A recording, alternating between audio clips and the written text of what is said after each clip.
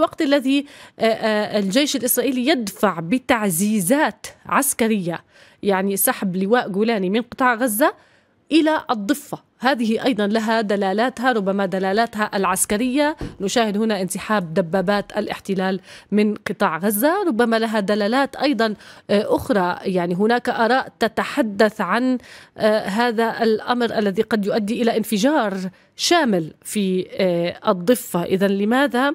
يتم سحب كل هذه القوات من قطاع غزة وتعزيز أيضا الاليات العسكرية في الضفة الغربية. اراء مختلفة حول الموضوع.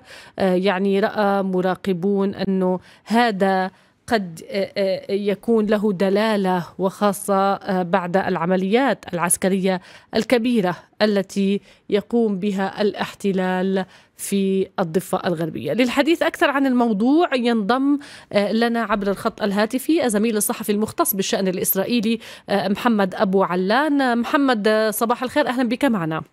صباح النور إذا الجيش الإسرائيلي يدفع بتعزيزات نحو الضفة تعزيزات عسكرية. يعني هذه القوات التي تنسحب من قطاع غزة قيل بأنها ستذهب إلى الضفة تحديدا لواء جولاني. ونحن نشهد اليوم مثلا زميلي محمد اقتحام واسع لمناطق عديدة في شمال الضفة. هو أشبه باجتياح كما كان يحدث في العام 2002 طائرات مسيرة تقصف يعني شبان داخل مركبة جرافات عسكرية ترافق آليات الاحتلال في اقتحاماتها لكن ربما يختلف بالوقت والزمان والطريقة والآلية لكن هي بنفس آه، الأحداث التي كنا نشهدها في العام 2002 كيف ممكن أن نربط الموضوعين آه، ببعض؟ وخاصة أن هناك جدل واسع آه، داخل الأوساط السياسية الإسرائيلية حول موضوع سحب قوات من الجيش من شمال قطاع غزة. آه، يعني إذا يعني بداية عن موضوع ما يجري في الضفة الغربية آه، اليوم ومنذ أكثر من عام ونصف يعني. جيش الاحتلال الإسرائيلي هذه العمليات مستمرة داخل الضفة الغربية وعمليات القتل وعمليات التجريف والتخريب؟ آه، مستمرة. ولكن يعني إذا أردنا أن نركز كلامنا في الأيام الأخيرة قبل عدة أيام كان هناك يعني آه، بيان وتصريحات للجيش الاحتلال الإسرائيلي بأنه يعمل على تعزيز عملياته العسكرية في شمال الضفة الغربية بالتحديد لمنع تزايد عمليات المقاومة ولمنع انتفاضة فلسطينية ثالثة، هذا كان يعني حديث رسمي لجيش الاحتلال الإسرائيلي عن ما يجري في شمال آه، الضفة الغربية. نعم. كذلك الأمر يعني واضح إنه جيش الاحتلال الإسرائيلي يدفع بالضفة الغربية نحو مواجهة شاملة. ما يجري من عمليات اغتيال تذكرنا مرحلة الانتفاضة الفلسطينية الثانية استخدام الطائرات المسيرة بالضفة الغربية لعمليات الاغتيال. لا معنى لها في ظل إنه الاحتلال يسيطر على كل الضفة الغربية. بمدنها مخيماتها قراها بالتالي يمكن الوصول لأي مكان. ولكن استخدامه لهذه العمليات الاغتيال بالدرجة الأولى يعني آه، لربما خوفا من عمليات إطلاق النار والاشتباكات مع المقاومة. نعم. بالإضافة إلى ذلك هو يريد أن لنقل استرداد نظرية الردع في الضفة الغربية. ففي هذا الصباح يعني عملية اغتيال واقتحام لمخيم بلاطة صحيفة إسرائيل اليوم تتحدث عن عملية عسكرية واسعة في آه، طول كرم. وبالتالي كل هذا يأتي في إطار الحرب اللي على الشعب الفلسطيني في قطاع غزة وفي الضفه الغربية مع اختلاف في الوتيره إلى حد ما.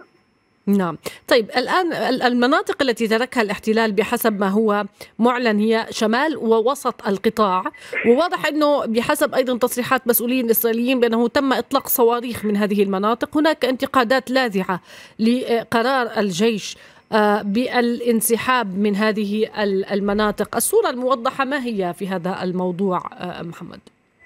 باعتقادي الصورة الصورة الصورة الأشمل والأوسع اللي بتتعلق في الحرب على قطاع غزة يمكن اشتقاقها من الرسالة اللي بعتها آه، بيني جنت رئيس المعسكر الصهيوني العسكر الرسمي وعضو الكابينت الحربي وعضو حكومة الطوارئ الإسرائيلية اللي انضم لها بعد الحرب.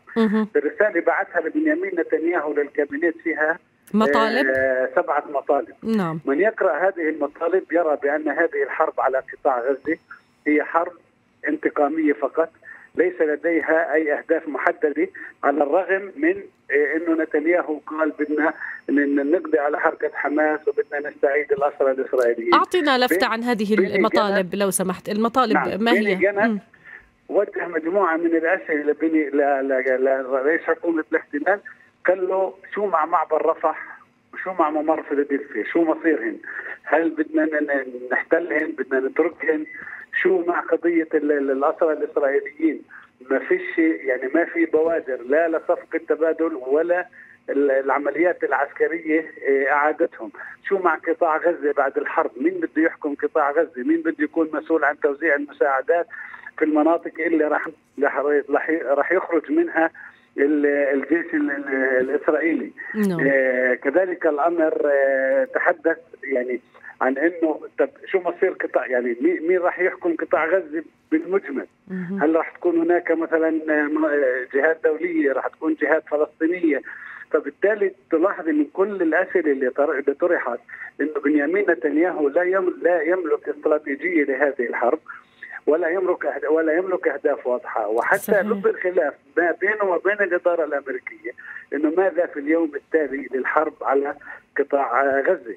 كذلك الأمر الخلافات في موضوع سحب القوات من داخل قطاع غزة أو جزء منها على الأقل يعني بدأت تمتد لعائلات الجنود الذين قتلوا في قطاع غزة. إنه هم ضد يعني عائلات الجنود اللي قتلوا وعائلات الجنود الذين لا زالوا بالخدمة. اعتبروا إنه تقليص عدد القوات داخل قطاع غزة هذا سيؤدي إلى مزيد من الخسائر داخل قطاع غزة. فبالتالي إنه الأمور باتت كلما امتدت الحرب أيام أخرى تزداد الضبابية إلى أين ذاهبه هذه الحرب. فبالتالي نصل لقناعة أو نحن إحنا بنعرف هذه القناعة ولكن الدلائل بتشير إنه هذه حرب انتقامية فقط حرب إبادة جماعية يشن تشن حكومة بنيامين نتنياهو على الشعب الفلسطيني في قطاع غزة وفي ذات الوقت في الضفة الغربية أيضا بدون أي أهداف آه، معلنة. وإن قضية القضاء على حركة حماس حتى من ضمن القضايا المهمة اللي تحدث عنها بيني جانتس قال له نحن بحاجة إلى إعادة تعريف لأهداف هذه الحرب. انه شو اللي بدنا نحكيه. آه ما بعزز قصه نعم. إنه أهداف هذه الحرب يعني مستحيلة إنه بالأمس بنيامين نتنياهو آه كان مع الأعضاء الكابينت عقدوا اجتماع في قيادة المنطقة الجنوبية في جيش الاحتلال الإسرائيلي. نعم. كان هناك جدل بعد ما انتهى الاجتماع إنه مقربين من نتنياهو قالوا بانه بنيامين نتنياهو طلب من القيادة الجنوبية للجيش الإسرائيلي إنه بضرورة العمل على القضاء على حركة حماس من خلال تفكيك ثمانية كتائب لحركة حماس موجودة معظمها في المنطقة الجنوبية.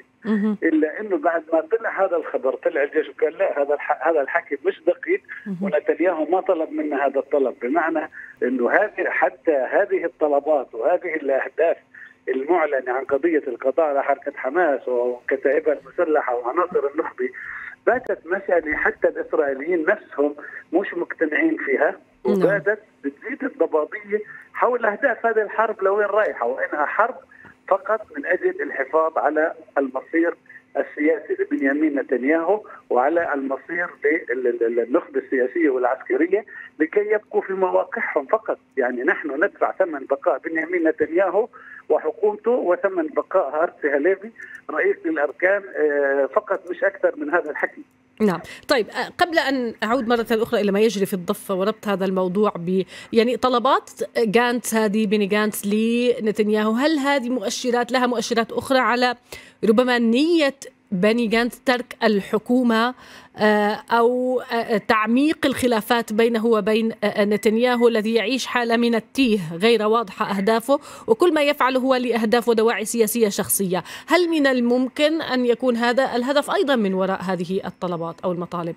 أولا أولا ما يريده بني جانتس من هذه المطالب ومن هذه المواقف هو مزيد يعني كسب مزيد من التأييد الشعبي في دولة الاحتلال الإسرائيلي. نعم. كما نلحظ أنه بعد ما دخل الكابينيت الحربي وحكومة الطوارئ شعبيته ارتفعت جدا ويصل أعضاء يعني استطلاعات الرأي العام تعطي حزبه حوالي 38 عضو كنيست وهذه أرقام غير مسبوقة في الساحة السياسية الإسرائيلية. هذا المطلب الأول أو هذا الهدف الأول.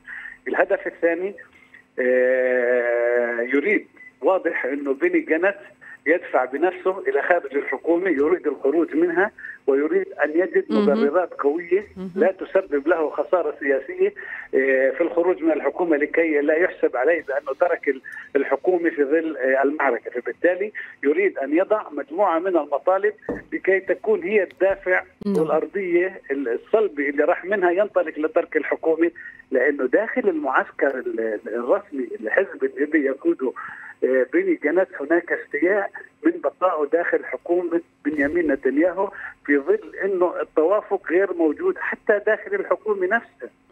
فبالتالي السؤال يعني من جماعة جنس إنه ماذا تفعل بالحكومة؟ الحكومة نفسها مش متوافقة فبالتالي هم خايفين من إنهم يعني في الآخر نتائج الحرب أيضا تنعكس عليهم فبيطالبوه بالانسحاب ولكن هو يريد الانسحاب لنقل على أرضية صلبة عبر طرح التي لا تسبب له خسارة سياسية لقدام نعم. محمد زميلي عودة إلى الضفة وكيف ممكن وصف الحالة اليوم في الضفة بعد التحذيرات من انفجار الأوضاع بها؟ يعني واشنطن أيضا حذرت من هذا الأمر بسبب العمليات التي يقوم بها الاحتلال مثل اليوم في شمال الضفة بالإضافة إلى اعتداءات المستوطنين المتواصلة والمتكررة وربما هذا الأمر لا يتم تسليط الضوء عليه. إحنا بنشهد في الضفة عمليات مصادرة أراضي من قبل المستوطنين شيء كبير في الأغوار الشمالية في مناطق متعددة أيضا من قرى وبلدات الضفة. يعني هذه الاعتداءات قد تؤدي إلى انفجار الأوضاع. كيف ممكن أن نصف الحالة؟ الحالة في الضفة الغربية الحالة في الضفة الغربية يعني هي كما تحدثنا في البداية هي متفجرة منذ شهر آذار 2022 يعني ليست بالجديد. آه، نتيجة ممارسات المستوطنين بالدرجة الأولى نتيجة ممارسات جيش الاحتلال الإسرائيلي. وحاليا يعني الأمور ذاهبة باتجاه مزيد من التصعيد. في في دولة الاحتلال الإسرائيلي البادي للعيان هناك من يريد أن يعمل على تهدئة الأوضاع في الضفة الغربية لصالح جبهات أخرى. بمعنى إنه المواجهة في الجنوب قائمة، المواجهة في الشمال قائمة، هناك من يسعى لتهدئة الأوضاع في الضفة الغربية. امثال وزير الحرب الإسرائيلي يوآف جالنت الذي طالب بإدخال العمال للداخل والذي طالب بالافراج عن أموال المقاصة. يشاركه الرائد بيني جانت جادي أيزنكوت حتى بنيامين نتنياهو بضغوطات أمريكية يريد إدخال يريد إدخال العمال للداخل. وكذلك الأمر الافراج عن أموال المقاصة حتى قبل الحرب على غزة نعم. بنيامين نتنياهو كان يتحدث عن ضروره يعني دعم السلطة اقتصاديا من أجل الحفاظ على وضع مستقر في الضفة الغربية لأنه انفجار الضفة الغربية لا يعني فقط احتكاك مع جيش الاحتلال الإسرائيلي وإنما أيضا احتكاك مع المستوطنين الموجودين بمئات الآلاف في الضفة الغربية، في المقابل هناك تيار يسعى لتصعيد الأوضاع تحت كل الظروف امثال بتسليل سموتريتش وايتمر بن كفير ونير بركات وزير الاقتصاد وكل هؤلاء. وكما نعلم انه وزير المالية الإسرائيلي سموتريتش هو أيضا يشغل منصب وزير آه، في وزارة الحرب. يلعب دور كبير في توفير الدعم للمستوطنين.